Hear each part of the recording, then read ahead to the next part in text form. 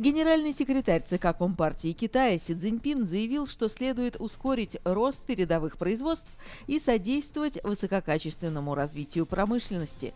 С таким предложением он выступил на коллективном семинаре для членов Политбюро. Глава государства подчеркнул, что научно-технические инновации позволяют осваивать больше подходов к повышению производительности. На их основе могут зарождаться новые перспективные отрасли, модели распределения и факторы роста. Си Цзиньпин напомнил, что цифровая экономика активно развивается и глубоко интегрируется с реальным сектором. Это может стать платформой для создания в Поднебесной цифровых промышленных кластеров международного уровня.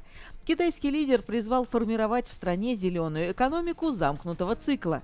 Для этого следует развивать экологически чистое производство, энергетику и сопутствующие услуги, стимулировать низкоуглеродные индустрии и цепочки поставок.